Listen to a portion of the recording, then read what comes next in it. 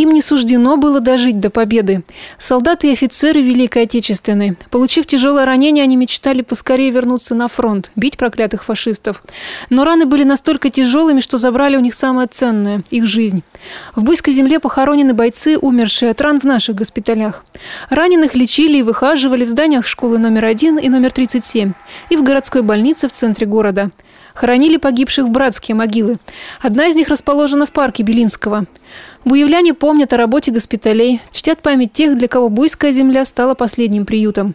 Ежегодно ученики школы номер 13 имени Рудольфа Александровича Наумова и школы номер 37 проводят в парке Белинского праздничный митинг. Торжественные речи, минута молчания, возложение цветов – все это было и в этом году. Много лет на этом святом месте мы встречаемся для того, чтобы почтить память. Память тех, кто погиб в годы Великой Отечественной войны. Чем же свято место, на котором мы с вами находимся? Мы у братской могилы. Дело памяти каждого – чтить память тех, кто отстоял нашу свободу, кто погиб, защищая Отечество. Нет семьи, наверное, в нашей стране, кого не коснулась эта война и каким-то образом значит, повлияла на жизнь э, каждой семьи.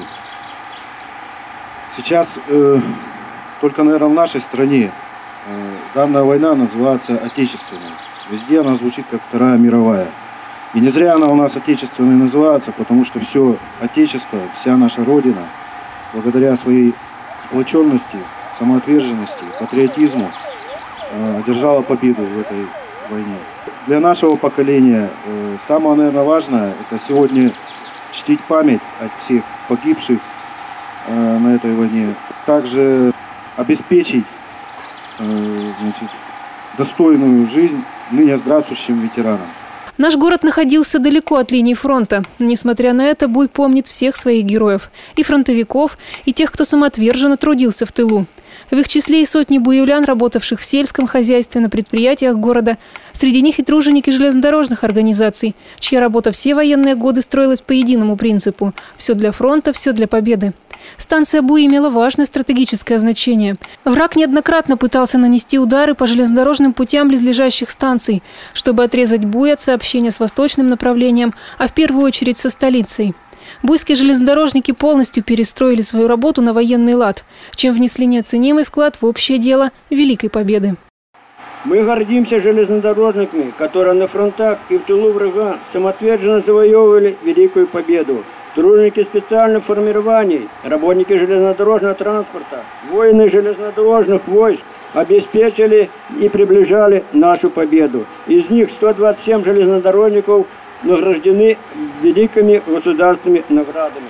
Я, допустим, сегодня шел на, на исключительно как патриотических вот таких чувствах, потому что память предков надо чтить. У меня тоже дед, вой, прадед воевал. У него, он был артиллеристом, прошел всю войну. Вот, я пришел как бы почтить память, хоть он и не здесь похоронен. Обязательно помнить.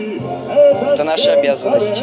Я к этому празднику отношусь с уважением. То есть э, всех людей пожилого возраста и взрослых, когда я шла в школу, я поздравляла. Потому что я считаю, что они достойны этих поздравлений. Если бы наши деды, прадеды, отцы не участвовали бы в этой войне, то, возможно, сейчас бы мы не справляли 71-ю э, годовщину Победы. Я надеюсь, что в следующем году э, ветераны еще будут приходить на такие праздники, как, например, у нас сегодня, то, что у них еще будут силы посещать нас.